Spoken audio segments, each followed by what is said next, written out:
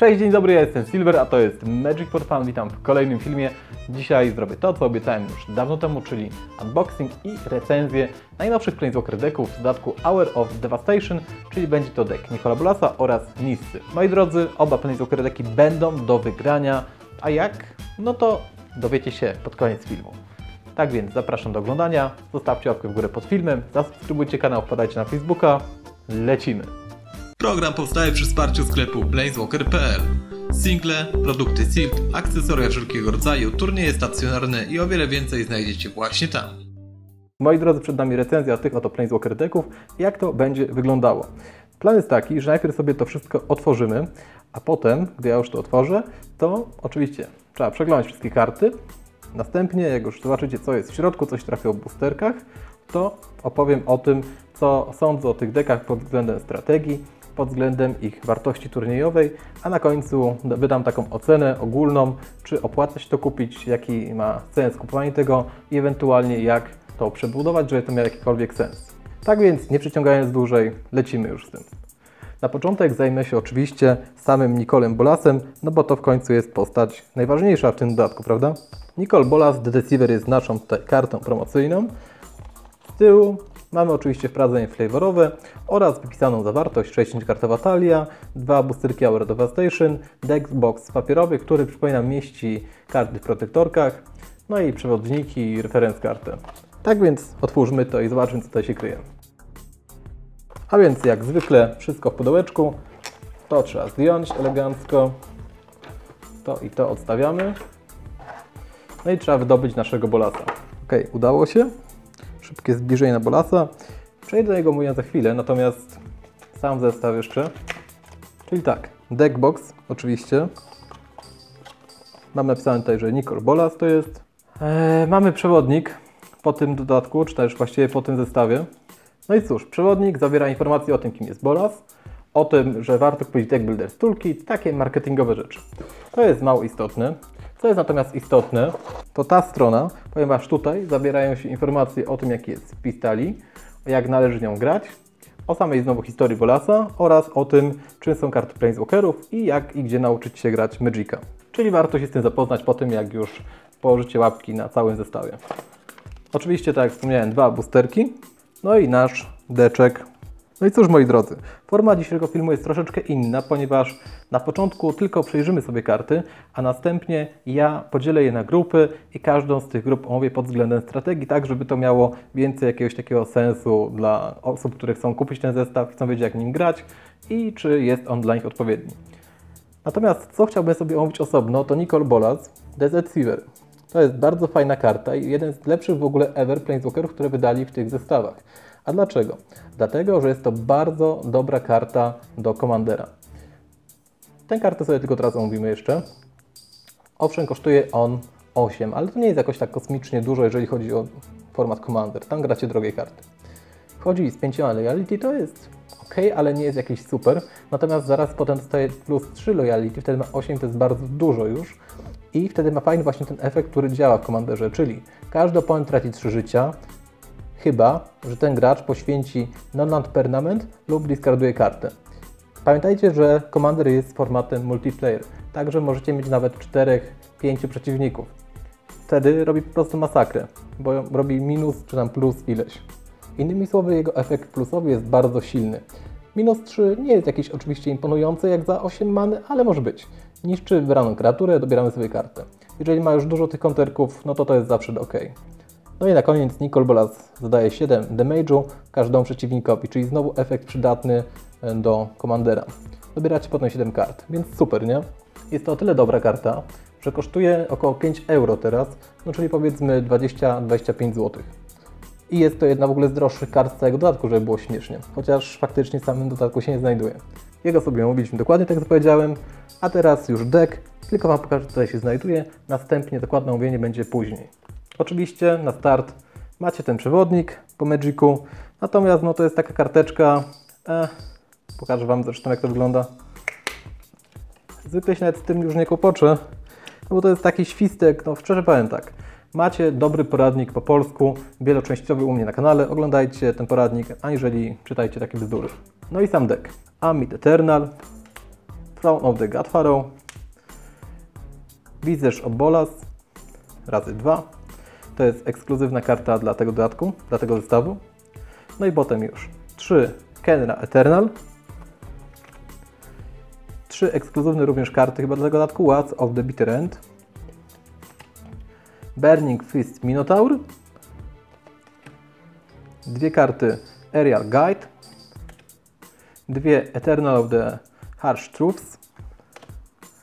Dwa razy Marauding Bone Slayer. Aż cztery kopie Zalot of the God Pharaoh. Następnie dwie Manticory. Fajne macie tu lądy w ogóle, z tego co już patrzyłem, bo dostajecie cztery Cinder Barons, czyli takie duale dla początkujących, dla ubogich, można powiedzieć. Ale one się sprawdzają w gruncie rzeczy swojego działania. Oraz Trilandy w pewnym sensie, w sensie, że możecie sobie filtrować many, dawać takie, które są w kolorach Bolasa, a tak to daje bezkolorową manę i otrzymujecie jedno wyjście życie, jak wchodzi e, na pole gry. No i oczywiście Islandy oraz oczywiście Swampy, no i jakoż to Bolas, to muszą być manteny. Z kart, które nie są kreaturami, nie są artefaktami itd. otrzymujecie Supernatural Stamina. Jest to w dwóch sztukach tutaj zawarte. Magma Spray, dwie sztuki, zawsze przydatne. Również Open Fire. No i na koniec Final Reward w trzech sztukach. Tak więc moi drodzy, ja myślę, że jeżeli ktoś przyszedł tylko po to, żeby sobie oglądnąć ten zestaw, jak on wygląda w środku, no to jego życzenie zostało spełnione w tym momencie. Natomiast jeżeli ktoś chce wiedzieć więcej, jak tym grać, jak to ulepszyć, no to zapraszam za sekundkę do dokładnego omówienia tego właśnie zestawu. Ale zobaczmy sobie najpierw, co się trafiło w boosterkach. Jeżeli chodzi o boosterki, to przejrzę to teraz troszkę dokładniej, jako że mamy tylko dwa, więc tak, żebyście widzieli każdą kartę, a skupię się na uncommонach i oczywiście rerkach, ewentualnych mythikach. Supreme Will jest fajnym bardzo zaklęciem, które jest w gruncie rzeczy, ma jakby dwa tryby, tak, ale wybieracie jeden. Kontrolujecie wybrane zaklęcie, chyba że przeciwnik zapłaci 3 dowolnej many, lub patrzycie na top 4 karty swojej biblioteki, kładziecie jedną z nich z Waszej ręce, a resztę na dnie talii dowolnej kolejności. Więc macie dwa tryby, dobieranie kart w gruncie rzeczy w pewnym sensie oraz kontrę. To jest spoko. Dostajecie Consyn, tu Oblivion. No i teraz tak. Po pierwsze, jak to działa, bo niektórzy mogą nie wiedzieć, jeżeli, to są nowi, jeżeli jesteście nowymi graczami, macie prawo nie wiedzieć. E, gracie normalnie kartę, tą, która jest pierwsza, tutaj w górę zaznaczona, normalnie wydrukowana. Tak, byście grali normalnie, czyli jest to instant, który za dwie many robi coś takiego, że e, cofa wybrany non permanent do ręki właściciela. Natomiast gdy to spadnie na cmentarz i tam już jest, to macie aftermath, który pozwala na to po prostu rzucić normalnie, tylko że jest z cmentarza. Wybrany oponent dyskarduje wtedy dwie karty. Więc macie zagrywanie z ręki, zagrywanie z cmentarza. Tak w dużym skrócie to działa. No i trzeci oczywiście, Uncommon, Doomfall. Za trzy many wybieracie znowu jeden z trybów dwóch. Wybrany przeciwnik ekstaluje kreaturę, którą kontroluje. Całkiem spoko. Wybrany oponent odsłania swoją rękę. I wtedy wybieramy kartę, która nie jest lądem. Spośród tych odsłoniętych ekstalujemy tą kartę. Bardzo mocny również Uncommon. I wszystko to pasuje do naszego deku, żeby było śmiesznie. Rerką zostaje Abonded Sarcophagus zatrzymany. Możemy kastować nonant karty Cycling z naszego cmentarza, czyli to jest fajne, jeżeli właśnie macie dużo kart Cycling, my tutaj ich specjalnie dużo nie mamy. Jeżeli karta Cycling została położona w naszym cmentarzu i nie została przez to jakby w efekcie cyklowania położona tam, to eksylujemy ją zamiast tego. Czyli żeby aktywować ten efekt, żeby to działało, musicie normalnie cyklować karty po prostu.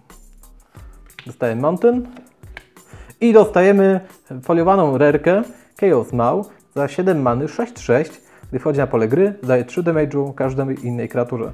Więc jeżeli będziemy chcieli sobie wzmocnić deck, to będzie bardzo spoko karta. Jeszcze jeden. A tak wracając jeszcze do tego Chaos Maw, ona jest spoko, bo jakby no po prostu czyści pole i sama jest wielkim ciałem, więc pod tym kątem robi przewagę. Za te many musi coś robić dobrego. Tutaj znowu tak dość sprawnie, ale niezbyt szybko przez komony.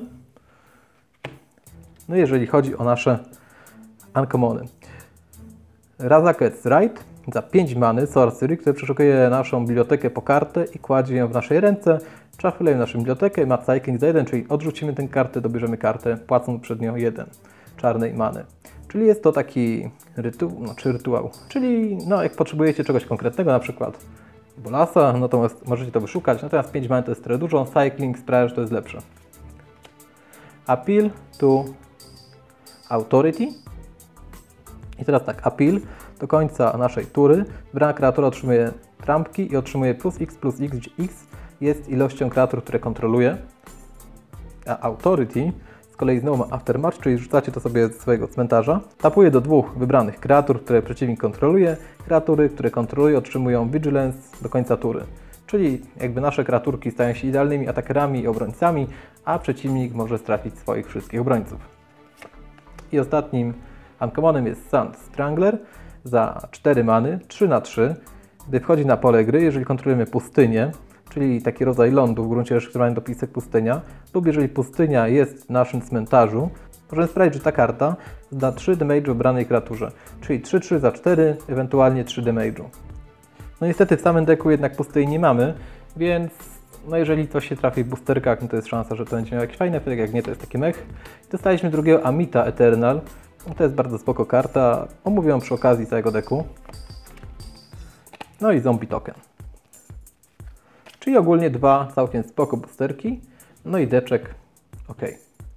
Myślę, że naprawdę spoko się trafiło wszystko. Zaraz Wam o tym dokładnie opowiem, jak to wygląda pod kątem strategii, użyteczności, tak jak mówiłem.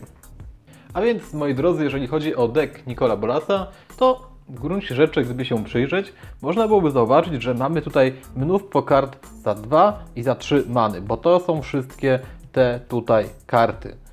No i do tego mamy z jakiegoś powodu kartę, która kosztuje nas 8 many, czyli samego Bolasa oraz Manticory za 5. Czy to jest dobre rozwiązanie? Według mnie nie do końca. Bo jeżeli budujemy deck, to trzeba zdecydować się na jakąś konkretną strategię. W tym wypadku mamy wymieszane tutaj wszystko, czyli mamy elementy agro, bardzo dużo elementów agro, elementy kontroli, postaci Nikola oraz jakieś midrange'owe, z którymi jeszcze mógłbym się ewentualnie zgodzić, ale też tak, nie do końca. A więc, żeby nie omawiać każdej karty po kolei, bo to się w gruncie rzeczy mija z celem, bo no po prostu możecie wejść sobie na spis, do którego link umieszczę w opisie, to powiem tak. Jeżeli chodzi o ten deck, skupiłbym się na przerobieniu go na wersję agresywną. To znaczy, na kartach skupiłbym się za dwie, za trzy many, ewentualnie za cztery many, może dołożyłbym jakieś jedynki, ale pracując tylko na tych kartach, które mamy tutaj, rozwinąłbym do kompletu wszystkie dwójki, trójki. Plus removal oczywiście. Removal jest ważny, no bo on pozwala nam się pozbywać, jak sama wskazuje, kłopotliwych sporów przeciwnika, blokerów, a jako, że deck jest taki, no powiedzmy, mocno, mocno budżetowy, no to chcemy jakby te lepsze kreaturki, żeby zniknęły ze stołu, prawda? No i będziemy się ich pozbywać. Na przykład przerzucić takie Open Fire czy Magma Spray. Obie karty są bardzo w porządku. Magma Spray jest dobrą odpowiedzią na zombiaki, bo exiluje kreaturę, a Open Fire no to jest 3 damage'u na instancie. Na pewno coś takiego jak Final Reward nie jest nam potrzebny, no bo to jest exilowanie kreatury, ale kosztuje nas aż 5 many. To jest bardzo, bardzo dużo. Taki Throne the Godfarrow może zostać, ponieważ nie jest kartą agresywną, ale korzysta z tego, że mamy dużo kreaturek w naszym polu gry, a taki jest zamysł stali. Na pewno nie chcemy mieć Visage of Bolas, no bo jest to przecież zbędne po co nam rampienie się w deku agresywnym. Taką sztuczkę, jaką jest, załóżmy Supernatural Stamina, ewentualnie można też zostawić, no to jest plus 2, 0, czyli wzmocnienie kreaturki, no niech będzie, ewentualnie tak jak mówię, to jest deck bardzo, bardzo budżetowy, który nadaje się bardziej do nauki gry, do zabawy, aniżeli do grania turniejowego, ale jeżeli już, to trzeba go jakoś przerobić. Manticora według mnie jest tutaj zbędna, no bo tak, Afflict 3 owszem jest agresywną mechaniką, natomiast ona kosztuje nas 5 many i raczej wątpię, żebyśmy do tego doszli. Żebyśmy mieli aż 5 man na polu gry. Jeżeli tak, to znaczy coś poszło nie tak, no bo chcemy mieć tak 4 many taki dostęp mniej więcej. Nie chcemy korzystać z kreatur, które mają 5 man w koszcie i liczyć, że jednak duża kreatura nam załatwi sprawę.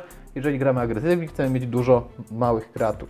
No i oczywiście, tak jak już wspominałem albo nie wspominałem, Nicol Bolas kosztuje nas 8, więc no tutaj nie jest to jakaś specjalnie dobra karta, ale jako, że on kosztuje około 5 euro, więc no ile, 20 zł, pan 20 zł, to możemy go sobie spokojnie sprzedać i nabyć dodatkowe karty. Jeżeli chodzi o lądy, no to cóż, jest ten problem, że ta talia jest trzykolorowa, czyli potrzebowalibyśmy bardzo dobrego mana base. Więc możemy zrobić dwie rzeczy. Albo faktycznie w ten mana base zainwestować, ale jeżeli inwestujemy w mana base, to równie dobrze trzeba zainwestować karty jakieś lepsze, albo po prostu sprawdzić to do dwóch kolorów. do czerwonego i czarnego, a pominąć niebieski. Bo tak naprawdę co jest z niebieskiego, to są te dwie karty plus bolas. Więc średnio tak naprawdę ma sens granie tego niebieskiego koloru. I oczywiście, jeżeli gramy takim agresywnym, to lądów też nie może być tam 25, 27, tylko 22, 23, jakoś tak. Trzeba było potestować i zobaczyć. Ja bym spróbował najpierw z 23 lądami, bo jednak mam tutaj dość sporo trójek. Czyli podsumowując, sam ten deck jest ok, tak jaki jest, ale do nauki gry. Jest ok do poznawania zasad. Natomiast jeżeli chcecie nim faktycznie sobie pograć, nie wygrać turnieju, ale wziąć w nim udział tak, że chociaż poczuć, że coś gramy, to przerobiłbym go na talię agresywną. To znaczy pozbył się kart, które kosztują więcej niż 4 mana, a rozszerzył karty, które kosztują 2-3 mana, bo to ma jakiś sens. Ewentualnie, jeżeli macie coś fajnego w tych kolorach, czyli czerwonym, czarnym, zakładając, że niebieski wywalamy, to też bym tutaj dołożył. Removal należy uzupełnić, ponieważ jest on potrzebny, żeby pozbawić się zagrożeń ze strony przeciwnika i torować drogę dla naszych kreatur, ewentualnie strzelać w przeciwnika. No i lądy, ograniczenie ilości. Czy warto kupić ten deck taki jaki jest? Według mnie tak. Przynajmniej z punktu widzenia opłacalności. W tej sali macie przede wszystkim dwa boostery, a to jest już około 26 zł wbudowanych w ten deck. Plus macie Planeswalkera, który kosztuje około 20-25 zł. Więc to jest około 50 zł od razu wbudowane w tę talię. A więc cała reszta tak naprawdę to dostajecie w gruncie rzeczy gratis. Oczywiście zależy po ile kupowaliście deck, ale no mniej więcej on kosztuje około 50 zł. Więc wszystko to jest za free. Jeżeli traficie coś w boosterach, to jeszcze na tym zarobicie, natomiast to jest oczywiście czyste szczęście. Ale deck jest opłacalny. To jest najważniejsze, jeżeli chodzi o takie tego typu talie, bo możecie te boosterki po prostu odsprzedać. Możecie odsprzedać Bolasa, mieć talię gratis praktycznie i za zarobione pieniądze kupić albo drugi Planeswalker deck, albo po prostu jakieś karty do modyfikacji. Pod względem grywalności, sam z siebie, jak już wspomniałem chyba dwukrotnie, jest ok do nauki gry, ale do gry turniejowej nie bardzo się nadaje. Można go rozbudować na agro, no i myślę, że to byłaby najlepsza ścieżka. Ogólnie na początek gry polecam, Natomiast uważam, że lepszym wyborem jest deck niscy, jeżeli chodzi o samą rozgrywkę, a dlaczego to zaraz zobaczycie. Tak więc deck Bolasa mamy omówiony, czas omówić deck niscy. On aż się rwie do tego, żeby go otworzyć, więc co będę przeciągał, nie ma sensu. No i tak to moi drodzy wygląda. W środku oczywiście Nissa, nasz zestaw. No i zestaw oczywiście z piękną grafiką. Nissa jak się patrzy. A sama karta też niczego sobie. Podobnie jak w przypadku Bolasa, ją sobie teraz omówię. Za 7 many Nissa 5 e, Loyalty ma na start. No i cóż, efekt plus 2 odtapowuje do dwóch wybranych kreatur i do dwóch wybranych lądów. No to nie jest jakiś taki mega efekt, chyba że mamy już spoko pole ustawione, ale jeżeli macie spoko pole, no to nie jestem pewien, czy trzeba się nią przejmować specjalnie. E, za minus 3 wybrana kreatura otrzymuje plus 5 plus 5 do końca tury. No czyli no, po raz kolejny, to jest karta, która jest dobra w momencie, jak już macie jakieś pole wypracowania. No i na minus 10 Ultimate patrzymy na top 10 kart naszej biblioteki. Możemy położyć dowolną ilość kreatur i również lądów pośród tych kart, które odsłoniliśmy na polu gry. Resztę kładziemy na dole naszej biblioteki w dowolnej kolejności. Więc całkiem spoko efekt oczywiście, tylko znowu jest lekko randomowy, bo możecie na przykład w tych 10 kartach nic nie trafić. Oczywiście to jest mega rzadki przypadek, ale może się zdarzyć. Tak więc powiedziałbym, że Nicole Bolas jest dużo, dużo potężniejszy tutaj. Nie ma to jakiegoś specjalnego znaczenia, jeżeli też chodzi o grę multiplayer, więc ogólnie Bolas lepszy. Natomiast deck może już przesądzić o tym, która, który produkt jest lepszy, ten czy tamten. No i a propos decku, tak jak poprzednio, teraz tylko Wam pokażę, jakie są tutaj karty, otworzymy sobie boostery. Czyli tak jak ostatnio, dostajecie dwa boosterki Amunketu, dostajecie przewodnik. Przewodnik oczywiście znowu zawiera historię samej Nisty Revein oraz jakieś tam produkty marketingowe, a także informacje o Nisie Genesis Mage, czyli w tej obecnej postaci oraz znowu spis talii, jak nią grać i takie ogólnie przewodniki po Planeswalkerach i po samej nauce gry. Oczywiście na sam koniec mamy nasze deczywo i do tego w gruncie rzeczy możemy teraz przejść. Czyli jak to wygląda? Dostajecie oczywiście nisce, tak jak poprzednio. Dostajecie, a ten przewodnik nieszczęsny, no ale to już pomieńmy go, bo to jest żal. I teraz tak, Reason to Believe. I to jest dwustronna karta, którą znowu możecie jedną część rzucić normalnie, drugą z cmentarza, ma Aftermath.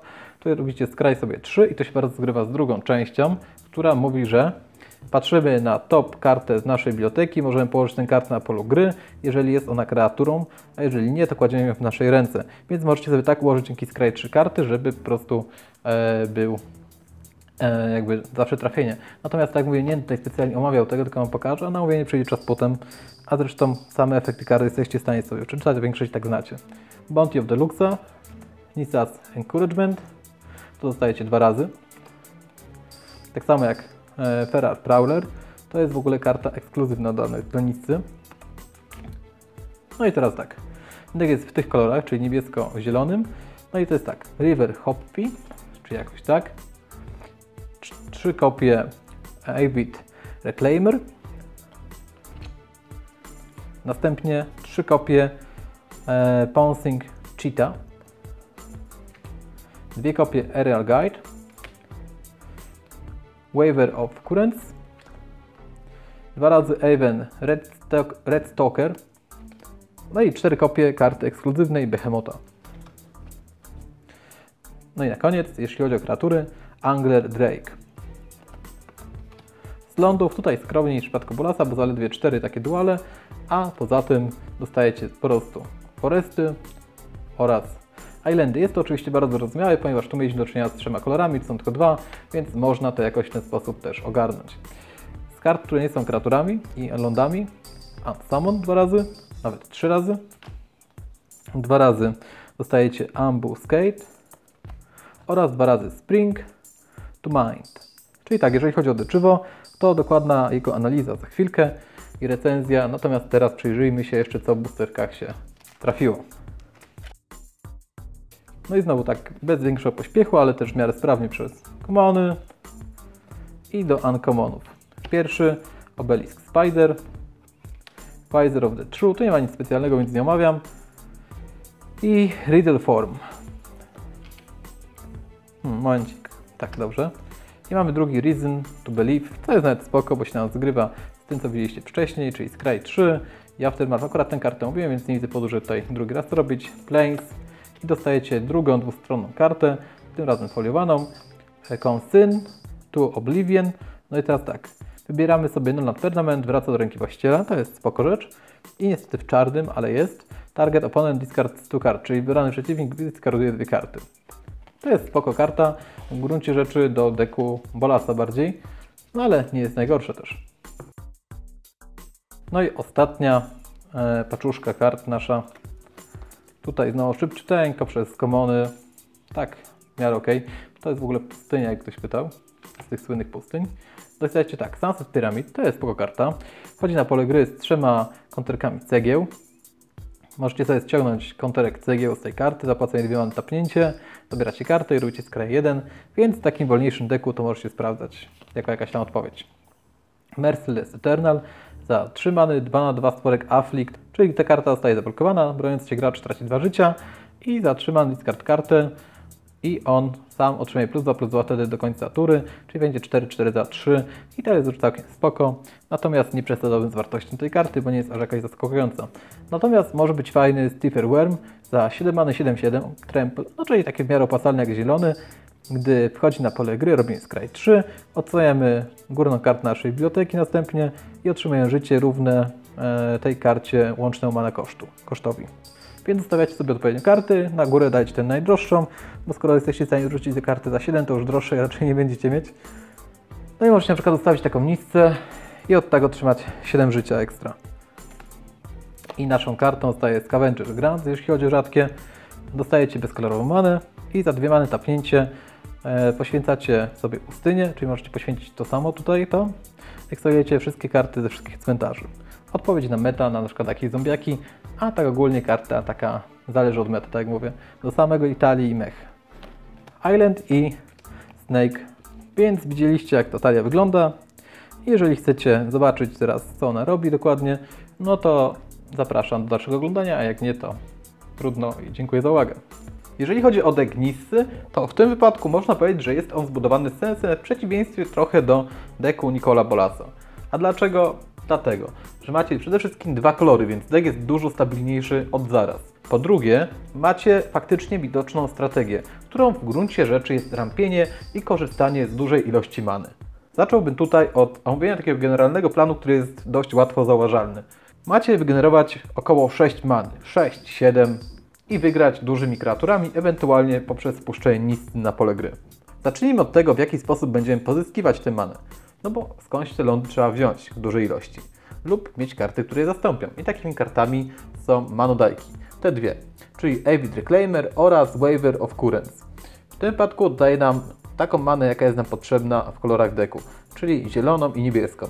A to zostają dwie many bezkolorowe. I to jest w porządku, czyli będzie nam wystarczyło. Dalej mamy kartę, która nazywa się, moi drodzy, Spring. Spring Mind. Spring to Mind, tam of Mind. W każdym razie Spring jest ważny. Przeszukujemy naszą bibliotekę po Basic Londa i kładziemy na polu gry tapniętego, tasujemy naszą bibliotekę. Czyli dodaje nam dodatkowego londa do naszej puli. Również kartą szukającą londa i nie tylko londa, bo szukając tak naprawdę naszych win condition, czyli naszego behemota, wielkiego stwora za 6 many oraz lądu jest Nissa's Encouragement. Za 5 many przeszukujemy naszą bibliotekę i cmentarz po kartę, która nazywa się Forest, czyli las, kartę, która nazywa się tamten Behemoth, Behemoth oraz kartę Nissa Genesis Mage. Odsłaniając wszystko, kładziemy w naszej ręce, tasujemy bibliotekę. I żeby to zagrać, musimy mieć 5 many. Więc automatycznie mamy też szóstą manę dzięki efektowi i stawiamy w następnej turze Behemota. Więc spoko rzecz. Ewentualnie, jeżeli mamy już ląda w naszej ręce, to dokładamy też Nissę. Potem w siódmej turze. Albo wcześniej. No bo tak jak mówię, macie manudajki, macie ten instant szukający, znaczy macie to sorcery szukające, ląda stawiające na pole gry.